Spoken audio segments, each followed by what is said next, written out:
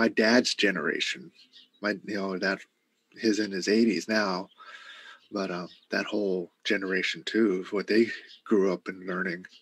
But it's about um, you know brothers i'm talking to you out there right now. We need to see, speak up you know and, and and that's all part of us being that healthy and wellness bringing that wellness out there. And i just want to introduce uh, again this is gene tagaban. I'm here with ac and we're talking about uh, uh, pride month celebrating pride month. We're at the native wellness institute. Um, we're sponsored by the um, seattle indian health board. Program 64 number 355 here. And uh, so welcome welcome welcome and again. Hey so um so what now? Here we are. What can we what can we look forward to as far as like moving forward? And uh and yeah so um you know there there's we could talk for for days or weeks on um, the struggles, but I absolutely want to hold up the triumphs and the yeah yeah the joys. You know the joys. Um, you know, I I, I have a, a, a couple of friends, uh, couple of guys who are married who just adopted a 12 year old boy. Hmm. Something they, they couldn't have done, you know, like 15 years ago but they've done it and oh they're such a beautiful family like i'm, I'm gonna cry here just talking about it um, the kid has been through so much and to see that he has two dads that love him so much no matter what is it like that's every like everybody should have that i should have that i need two dads but that's a whole nother story you know? Um, when you put your flag up uh, you can do you can put your flag up in places that you might not realize.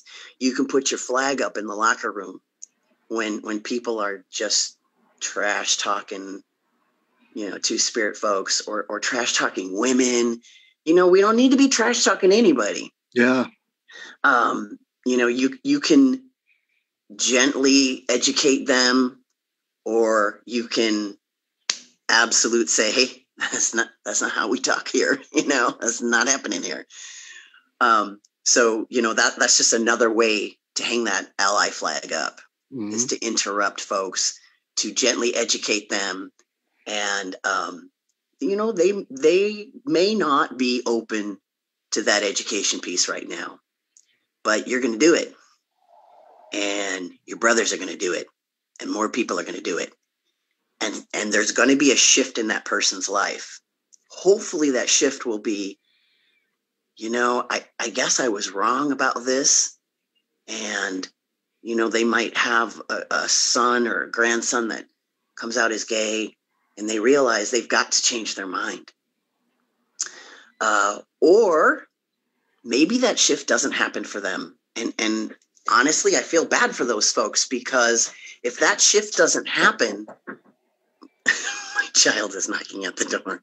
If that shift doesn't happen, you know, and they're carrying around that anger and hatred inside of them, um, that that's a, a poison. That's bad medicine. Yeah, yeah, yeah. And they can't, you know, they don't want to be um, carrying that.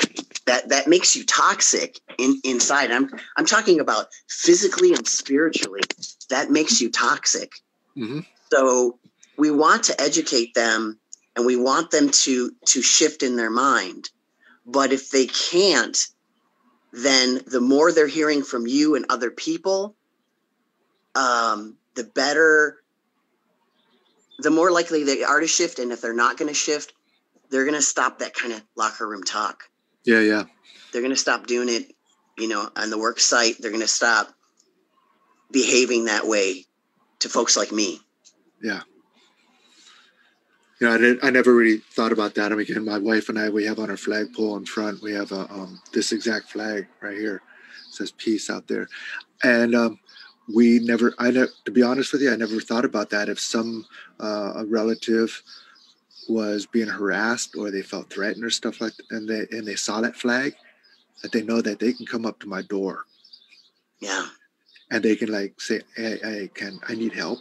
I need a ride. Or you know, and they, or you know, just because they feel threatened or whatever it is, you know. And, and my wife and I, we would just go, yeah, yeah, okay, what, you know. And so I never thought about that. That that's that that's actually uh, a way that you know people can see is like there's a safe house. Yeah. There's a place I can go. And you know, and I know, you know, again, as a man, going into the locker room talk and i teach men male engagement you know and how to get men in, involved to stop the domestic violence sexual assault the hurt and harm against our lgbtq relatives uh, and uh, and themselves and, and other you know other men um, and so when i walk into a room now people know what i stand for and so just with my presence the chatter and the, the talk stops. You know, because they know that okay, here's a guy who who you know he won't he he'll call us out. He'll call us out on that. Yeah. And so, they're going to uh, want to carry themselves in that same way with you know integrity and kindness and and compassion. The more yeah, yeah, that they're yeah. surrounded by it, you don't want to be the only guy doing the locker room talk and everyone giving you side eye, right? Exactly. Yeah, exactly. You know, and, and, so those are just a few things that we can, you know, that can be done and uh, that our communities can do.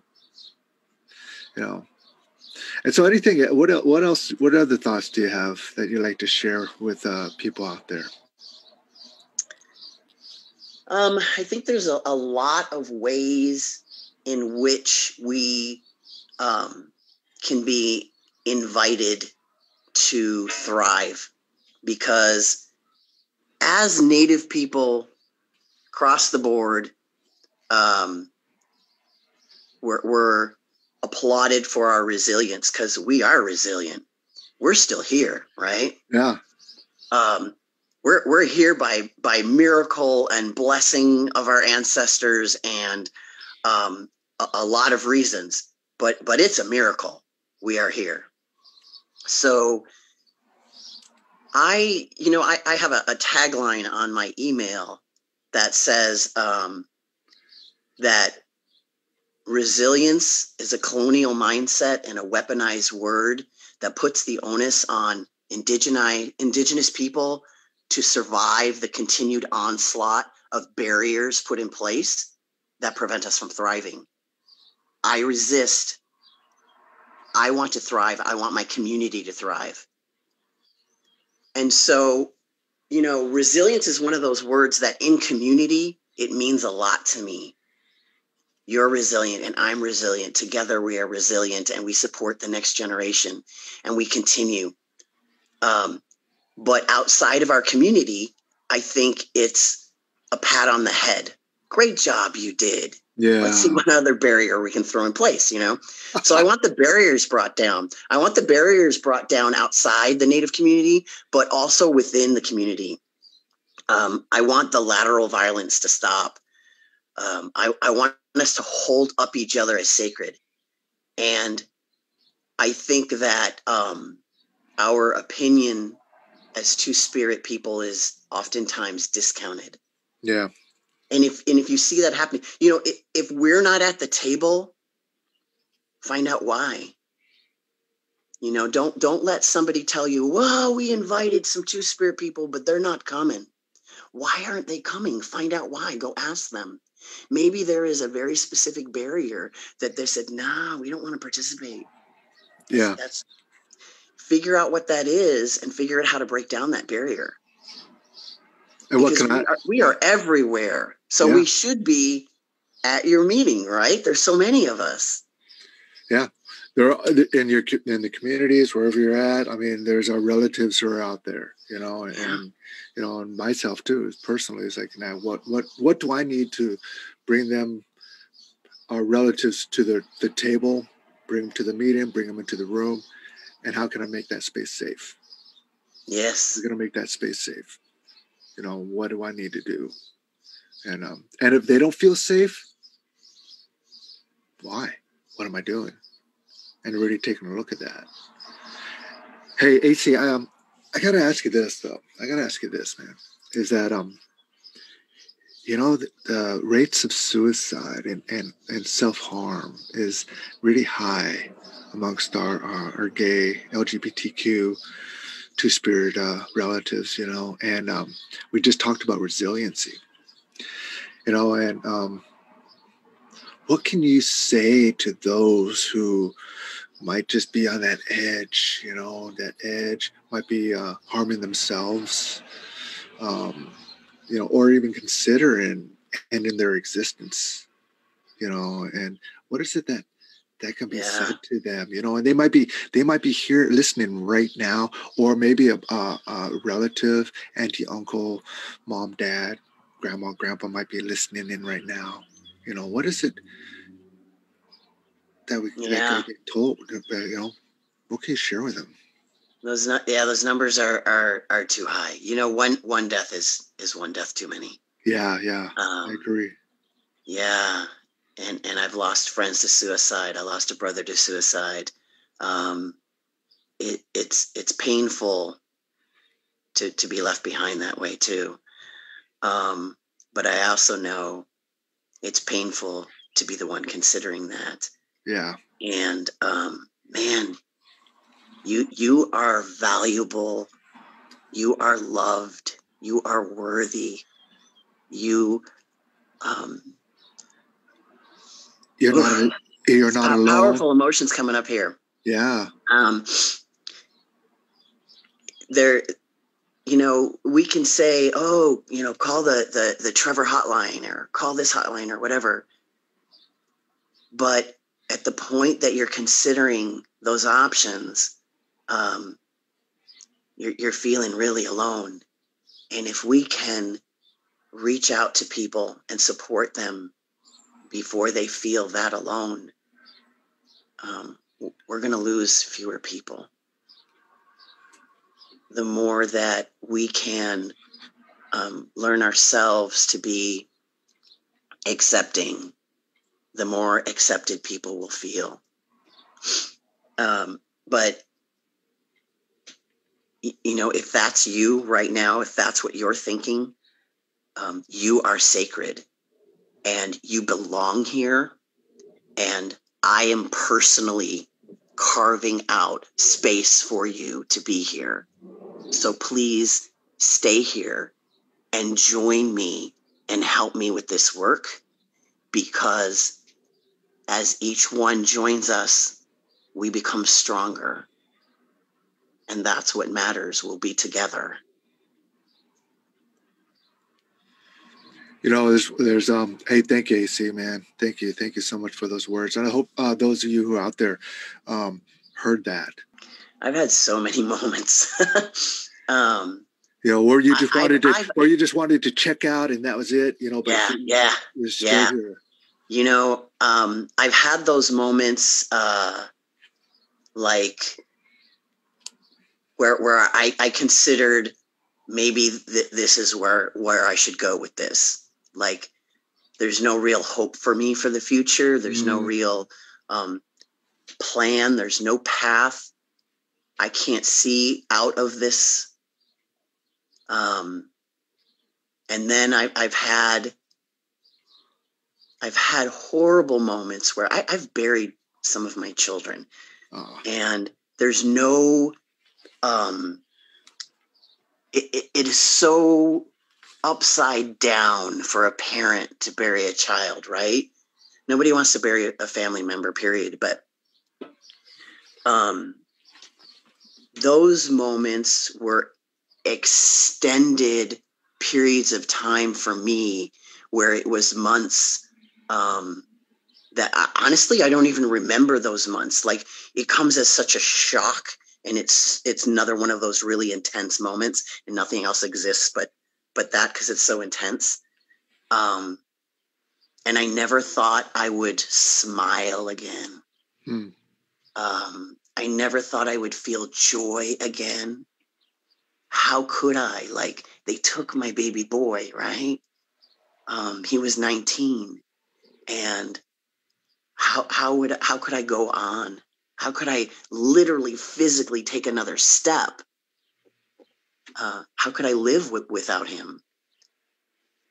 and and I'm here today, many you know many years later, um, and I'm alive, and I have I I did smile.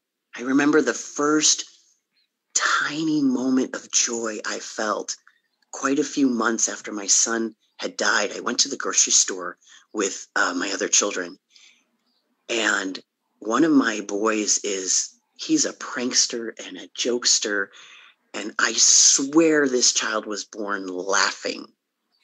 um, and he was just being himself in the grocery store. And yeah. he said or did something, I don't remember what it was, but he said or did something that was outrageously funny. And the other kids started laughing, and I started laughing. And I looked up and I noticed that I, we lived in a small town. Everybody knew that, that my son had passed away, right? And I looked up and I looked around, and there was all these people looking at me. And my body felt like a flood from my head all the way down. A flush of shame. How mm. could i feel joy? How dare i feel joy when my son was dead? In the midst of this grief. Yeah. It's just yeah this, this is how how grief takes over but we can work our way through these things. And and i did. I went home and i felt terrible. I didn't speak all the way home as i was driving. Um, but here we are you know, years later, more than a decade later, and I have had those moments of great, great joy. But had you told me in the moment when I'm standing in the grocery store and I'm feeling intense shame that I, I had bothered to laugh, I'm not sure I would have believed you. Yeah. Um, but there was somebody by my side who went home with me you know somebody who was checking in with me quite a few somebody's who checking me you know that the the widow next door convinced me that she couldn't drive anymore it wasn't true but she needed me to drive her to the other end of the island because she had to go to the bank and blah blah blah she didn't need to go to the bank she made up this whole story because i had locked myself in my house and i wasn't going anywhere and wasn't you know talking to anybody and she was rightfully concerned for my mental health and my well-being. Yeah. And uh, so she figured out a way. She she played helpless and and you know sometimes like that's how we break through and that was a breakthrough. Uh, i nearly crashed her new car but um, uh, you know it, it, it was a matter of i went to shift and it and it wasn't that kind of vehicle and so i hit the brake thinking i was hitting the clutch and i was like oh jesus we came to you know screeching halt on the freeway which you don't want to do but um you know, uh, it took months for me to get beyond that. Yeah. It, it's not a magic moment where, oh, wow, I laughed. Now I feel better. We're moving forward. No, it took years. Yeah. It took years of good medicine and a lot of hard work on my part. And that good medicine takes time. That's, you know, I was out in in for me it was out being in the woods and hiking and and being with other people who could um, experience joy and it was okay with them that I wasn't laughing and smiling for a while. Mm-hmm. And eventually I was able to without feeling such pain and shame. Um, they were there for me. We've got to surround community. We've got to be there for people. Um, and it's hard if we don't know that they're suffering, but we should always ask. Keep asking. What are your struggles? What can I help you with? just checking in with them. Yeah. Just checking in with them. You know, it's like you said, we're all good. We're, we're good medicine. You know, and uh, um, Robert Johnston, who's with the Native Wellness Institute, he always talks about too, is that we're all, we are all walking um, medicine pouches. Yeah. We're all walking, living, breathing medicine pouches. Medicine. We are medicine you know, in our LGBTQ community, our relatives, uh, two spirit relatives, um, I just want, I want to say too is like you are medicine. You are medicine, you know, for the soul, for the spirit, for this world, for this world, you know, and even though you might be on the edge, whatever it is, just you are medicine. And like uh, AC was talking about, it's like, you know, it's okay. You'll break through it I mean, just like you had that breakthrough.